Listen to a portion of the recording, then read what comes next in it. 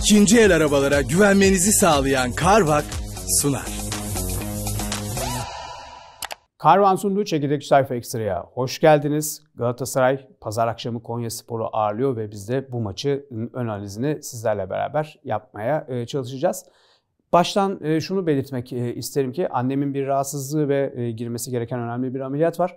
O yüzden biz bu çekimi 4 Ocak Perşembe günü gerçekleştiriyoruz. Yani Galatasaray ve Konyaspor kamp kadrosunu açıklamadan önce yapılmış bir çekim bu.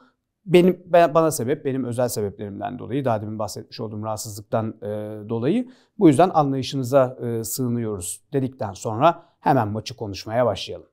Evet hem Galatasaray'ın hem de Konyaspor'un kadrosunu görüyorsunuz ki Galatasaray'da ee, özellikle e, sakatların ve cezaların olduğu e, noktada kadro oluşturulurken e, biz birazcık da sevgili Ali Naci Küçük'e ve Metin'de e, Metin Karabaş'a bağlı kalarak kadroyu oluşturmaya çalıştık.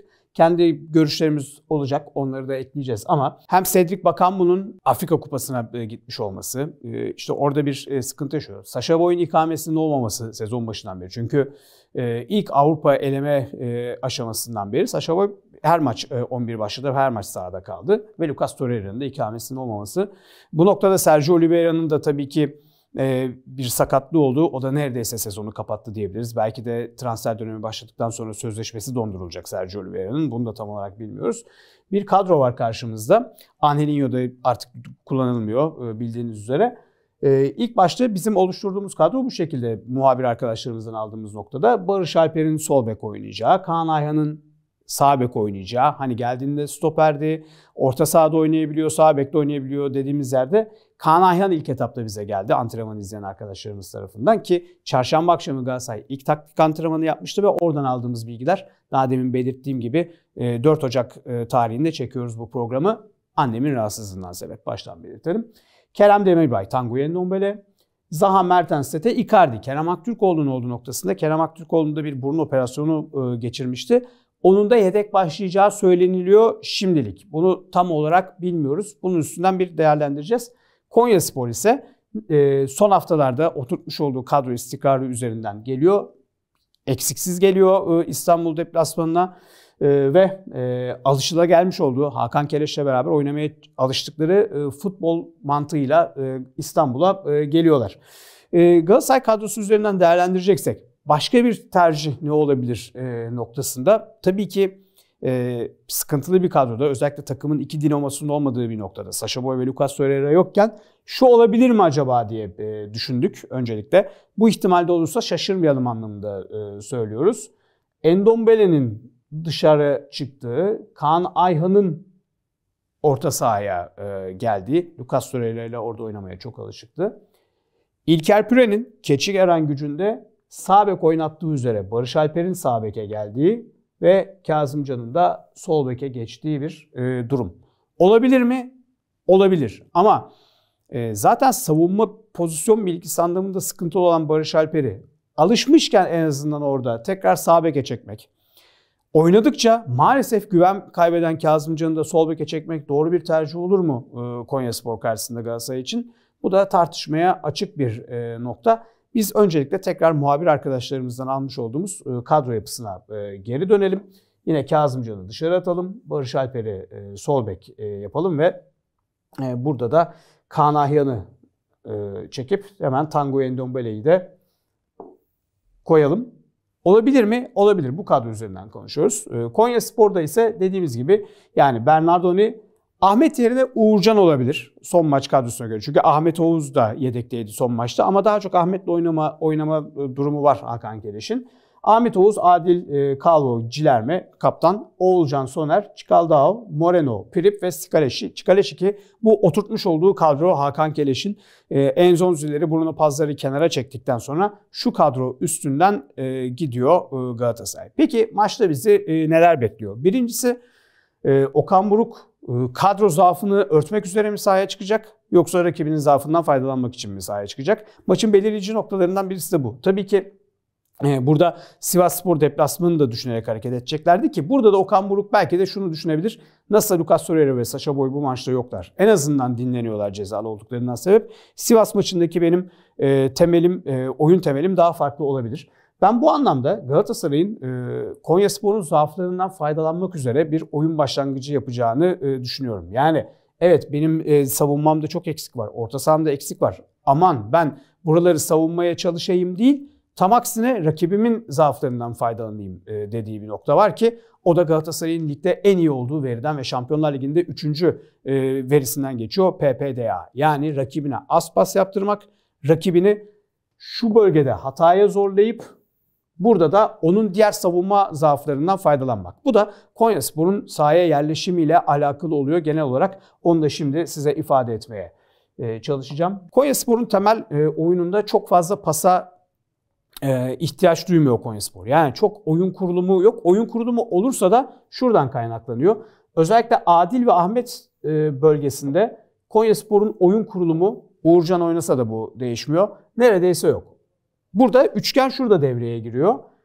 Calvo, Cilerme ve Moreno üçgeni e, burada devreye giriyor. Şöyle ki Moreno birazcık daha içe doğru yerleşirken Konyaspor'un e, oyun kurulumunda Cilerme de tam çizgiyi kullanan bir oyuncu olmuyor esasında. O iç koridoru e, kullanıyor.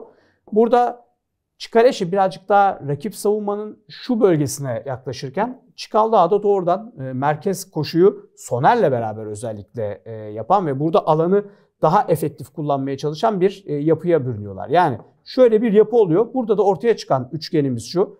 Calvo oyun kurulumundan sonra kaynaklanan Cilerme, Oğulcan, Moreno. Bu bir üçgen oluyor. Calvo burada buraya gelirken Adil birazcık daha derinlik sağlayan oyuncu oluyor. Pirip'i de şuraya alalım ki Pirip biraz daha ince işlerin oyuncusu. Ahmet Oğuz da burada oyunu genişleten ama çok da fazla ileriye hemen hemen çıkmayan kademeli olarak Pirip'e yaklaşan e, bir oyuncu e, konumunda. Şimdi buradaki üçgende Galatasaray Konya Spor'a 11-12 pas yaptırırsa sahaya çıkacağı, orta sahanın yaratabileceği e, defolarla beraber Konya Spor'a istediği pozisyonları verebilir. Nedir bu? Cilerme Calvo'nun oyun kurulumuyla başlayan, Moreno'nun içe konumlandığı, Çikaldağ'ın da oradan santrofor ön direk koşusu yaptığı, Çikaleşi'nin arka direkte beklediği, Cilerme'nin de buradan erken orta yani içten orta yaptığı ve hatta şut attığı bir e, pozisyon ki Moreno birazcık daha o zaman şu bölgelere kayıyor ve genellikle de asistleri daha doğrusu anahtar pasları tamamlayan oyuncu oluyor. Almış olduğu akıllı paslarda anahtar pası e, tamamlayan e, oyuncu oluyor. Ama burada tabii ki çok fazla pas yapması gerekiyor. Yani e, bundan önce oynamış olduğu maçlarda e, genellikle sadece geçiş oyunundan değil oyun kurarak da yani 8 ve üzeri pas diziminde başarılı olmuş bir ekip. 10 pas, 11 pas, 12 pasta biraz sıkıntı e, yaşıyorlar e, bu noktada. Ama 8 pas ve üzerinde 8-10 pas arasında istedikleri işi yapabiliyorlar. Ama bunu da genellikle rakibinin 3. bölgede derinde beklediği ve kendilerinin daha rahat hissettiği e, zaman dilimlerinde. Eğer birazcık baskıyı yerlerse o zaman doğrudan savunmadan uzun toplara başvuruyorlar ki burada da odak noktaları Sokol Çikaleşi olmuyor. Çikaldağ da olmuyor. Moreno oluyor. Yani Moreno'nun topla buluştuğu, Cilerme'nin iç koridordan geldiği, Çikaleşi'nin de uzak direğe veyahut da yakın direğe koşarken Çikaldağ'ın da ona göre tam, tam terse ulaştığı bir nokta oluyor. Pirip'i de genellikle burada e, iç sağ, ceza sahası içine e, sokuyorlar. Galatasaray burada neyi yapabilir peki? Şimdi tekrar biz e, şurayı bir e, silelim e, oyuncu e, grubunu. Galatasaray burada en iyi iş yaptığı iş presi yapacak. O presle beraber doğru yönlendirme yapacak. Doğru yönlendirmede de topu kazanıp hemen Konyaspor'un zaaflarından faydalanacak. Hemen o yönlendirme nasıl olacak ona bakalım. Hangi yönlendirmeden bahsediyoruz? Konyaspor'un en zayıf olduğu yere yönlendirmek. Yani Icardi ile başlayan, Icardi çünkü yönlendirme koşullarını ve yönlendirmeyi e, çok iyi başlatabilen bir e, oyuncu. Şu bölgede Bernardoni'nin ve hatta Calvo'nun Cilerme ile olan bağlantısını kesecek e, pres başlangıcı. Burada Mertens'in doğrudan ona katılımı ve Bernardoni'yi ve hatta Calvo'yu ve hatta orta sahadaki Soner'le Olcan ikilisini Adil Ahmet hattına yönlendirmek. İşte bu hatta yönlendirdiği zaman Konyaspor'un bütün zaafları ortaya çıkıyor. Bir, Adil e, çok fazla hat kram pası deneyen ama bunları çok e, sıkıntılı yapan bir oyuncu. Genellikle de Soner'e veriyor. Soner daha belini döndüremeden rakipleri topu kazanıyor ve rakip kalede tehlikeli olabiliyorlar. Birinci noktası bu ki orada da tabii ki Tanguy Ndombele ve Kerem Demirbay'ın çok doğru yaklaşması gerekiyor savunma dörtlüsüyle beraber. Yani burada e, savunmayı ayrı, orta sahayı ayrı, yönlendirmeyi ayrı düşünmeyeceğiz. Burada bir takım boyununda en az e, 28 veya 31 metre arasında olması lazım ki Galatasaray topu kazandıktan sonra neler yapabileceğine baksın. Birinci yönlendirme e, buydu e, tabii ki.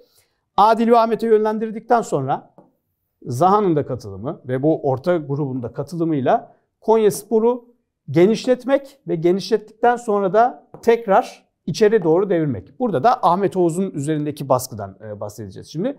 Ahmet genellikle burada topu kazandığı zaman baskıyı görürse ya uzun vurmak durumunda kalıyor ya da boş sandığını, daha doğrusu o yönlendirmenin en büyük tuzaklarından, pres tuzaklarından birisi de budur. İçeri doğru dönmeye çalışıyor. İçeri doğru döndüğünde de zaten görebileceği oyuncular bir Soner, iki Adil. Ve genellikle burada pas şiddetiyle beraber, oyuncuların yaklaşımıyla beraber Konyaspor top kaybına e, çok yakın. Orada Galatasaray doğru yönlendirme ve gelen doğru baskıyla topu kazanıp doğrudan skora gidebilir mi? Evet gidebilir. En iyi yaptığı işlerden birisi bu. Birinci e, yönlendirme, yönlendirme baskısı ve sonrasındaki pres tuzağı e, buydu. İkincisi orta bloktaki e, tuzak. Orada da yine yönlendirmeden bahsediyoruz. Yani Ahmet ve Adil üstüne çok fazla yüklenmeden onlara bir 15 şöyle söyleyeyim 15-20 metrelik şu koridoru verip onların topla yaklaştığı ama tabii ki bu esnada da Soner'den Oğulcan'a, Oğulcan'a Çikaldağ'dan Morina'ya kadar doğru birebir baskılamaların olduğu nokta. Burada da şu bölgede kaybedilen toplarda Konya Spor'un bir başka problemi ortaya çıkıyor. O da Adil'in, Calvo'nun ve Cilerme'nin doğru pozisyon alamaması, özellikle Adil ile Calvo'nun birbirlerinin çizgilerini bozması, offside çizgilerini bozması ve doğan problemler. Ki Konyaspor'un son 8 maçını incelediğimizde sezon başından beri tabii çünkü daha farklı bir teknik direktör vardı. O, onun son maçı ve Hakan Keleş'in geldiğinden sonra geldikten sonraki maçları üzerinde konuşuyoruz burada. Konyaspor şuralardan, şu bölgeden ceza sahasına e, atılan toplarda onu şöyle ifade edelim şuralara atılan topları savunmakta 25-30 metre veya 30-45 metrelik cross paslarda oldukça sıkıntılılar. Adil doğru adımlamayı yapamadığı gibi Ahmet Oğuz aralarındaki boşluk çok ciddi ve onu hala kapatabilmiş değiller. Uğurcan'la da kapatabilmiş değiller. O bölge şu boşluğa atılacak bir e, şeyden bahsediyorum. E, pastan bahsediyorum. Öncelikle onu söyleyeyim. Şu ikisinin arasına atılacak top veyahut da doğrudan şu bölgeye bizim final third dediğimiz bölgeye atılacak top. Bunları savunmakta çok sıkıntılılar ve Icardi ile beraber Tete oynarsa Kerem Aktürkoğlu veyahut da Zaha buraları doğrudan değerlendirebilirler. Hatta ve hatta e, derbide, son derbide Galatasaray'ın e, Kadıköy'e konuk olduğu derbide Kerem Demirbay'ın da 8 numara koşularını düşünecek olursak ki o zaman yanında Torreira vardı. Bu parantez içi bir bilgiydi. E, orada Konya Spor ciddi zaaflar verebilirler. Çünkü o boşlukları veriyorlar. Veyahut da ceza sahası içinde topla buluşulduğu anda Konya Spor doğrudan birinci müdahaleleri yapmıyor Konya Spor savunucuları. Adil yaparken ya çok sert yapıyor faale tabii ki penaltıya sebebiyet veriyor. Ve hatta doğru karşılama yaparken topun karşısında e, rakibinin karşısında duruyorlar sadece. Topun karşısında bekliyorlar ve orada ikinci, üçüncü pasları yaptırabiliyorlar. Ama burada tabii ki çok hızlı gelişen oyunculardan bahsediyoruz. Yani anlık cross pas atıldı, oyuncu aldı, Zaha aldı, sağına çekti, pası verdi veyahut da doğrudan şutla bitirdi. Veyahut da Tete topu kazandı, Icardi'ye cross pas attı. Icardi bitirdiği gibi gibi ve hatta orta sahadan Kerem Demirbay ve hatta Tango Endombele'den çıkacak toplar ki eğer Tango Endombele oynayacaksa onun bu 25-30 metrelik hat kıran pasları da çok çok önemli olacak ki bu işi yapabilecek yetenekte oynadığı maçlarda da e, bunu e, göstermişti.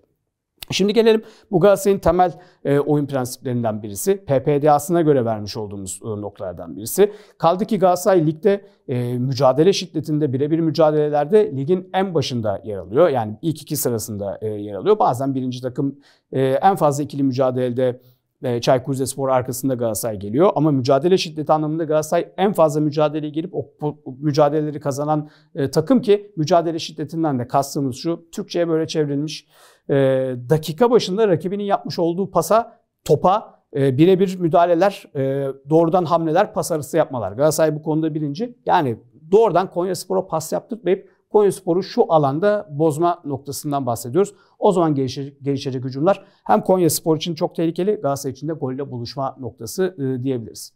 Konya Spor neyi çok iyi yapıyor? Hemen 1-2 dakikada ondan bahsedelim ve maç analizimizi tamamlayalım.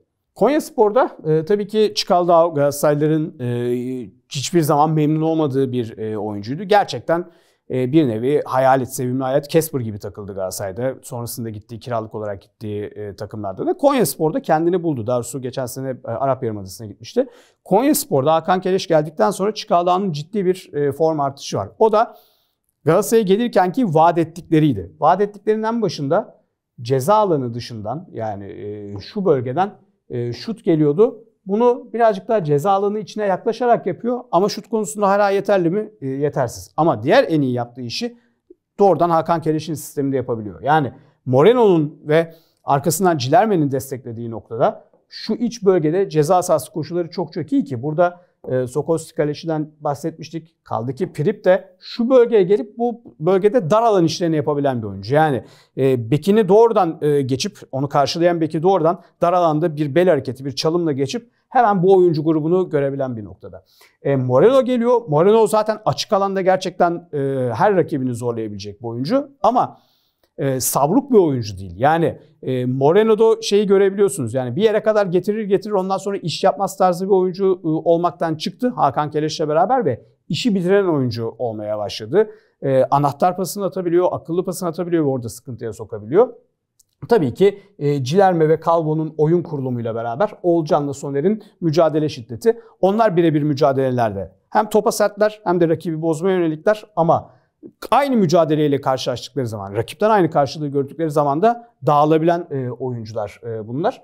Cilerme ve Calvo'nun oyun kurulumu, Ahmet ve Adil'in de oyun kurulumsuzluğu. Ama onlar eksi yönleri, bunlar artı yönleri. Galatasaray'da muhtemelen bunu değerlendirecektir. Eğer Cilerme'yi şu iç koridoru e, kullandırtırsa e, Galatasaray, yani Cilerme şuraları kullanmaya başlarsa, Moreno zaten o noktada e, burada kalıyor. Çikaldao ile beraber Soner'in de ceza sahasına girmesine izin verirse işte o zaman Galatasaray için işler değişebilir. Kötü anlamda e, diyelim.